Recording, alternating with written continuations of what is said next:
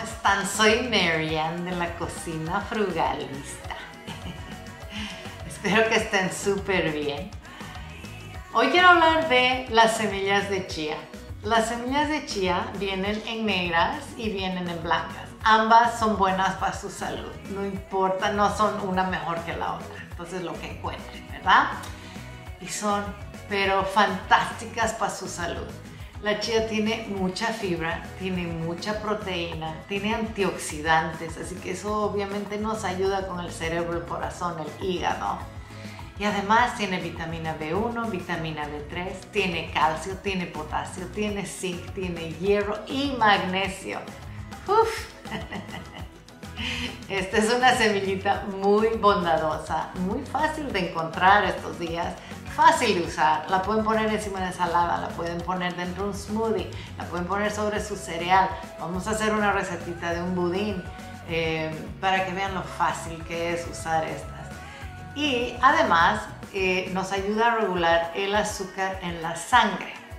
Además de todo lo que les acabo de decir, la chía tiene un componente que ayuda a que los huesos estén fuertes.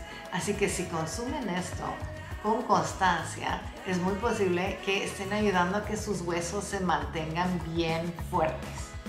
Buena cosa. Finalmente la chía es excelente para bajar de peso. Y les explico por qué.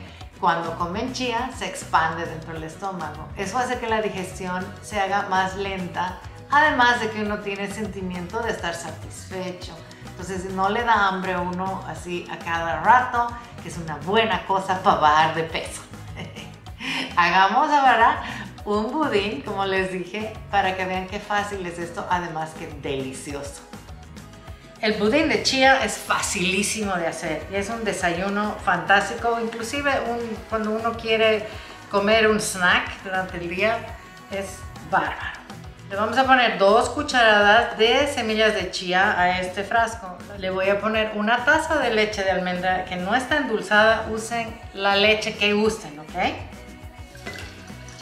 Esto le pueden poner los sabores que quieran. Si quieren que sea más tropical, pueden usar leche coco y poner, servir después con frutas eh, tropicales. Pueden eh, endulzar con miel, pueden endulzar con miel de arcex, lo que voy a hacer hoy día eh, ponerle lo que quieran. Eh, esta es la base. Voy a poner un poquito de canela, un cuarto de cucharadita, un cuarto de cucharadita de vainilla, media cucharadita de miel de arce.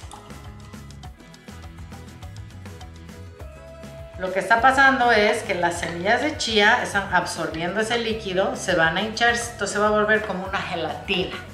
Pero Vamos a dejar que estén en el líquido más o menos una hora en el refrigerador y después vamos a sacarlo y eh, revolver otra vez porque si no van a tener grumos. Entonces nos vemos más o menos en una hora. Esto ha estado unas dos horas en el refri, le voy a dar una buena mezclada. No se salten este paso porque como les dije van a tener grumos ahí adentro. Una mezclada vigorosa.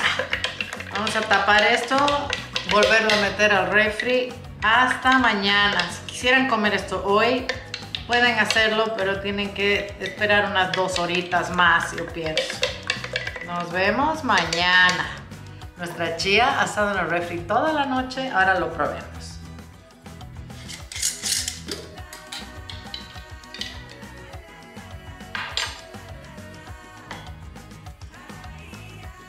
Le voy a poner frambuesas que están lavadas, pero esto ustedes lo podrían comer con la fruta que quieran, con melón, con papaya, con fresa, con arándanos, con lo que quieran. Y aquí está nuestra chía preparada. Vamos a probar. Mmm. esto está muy rico. Mm.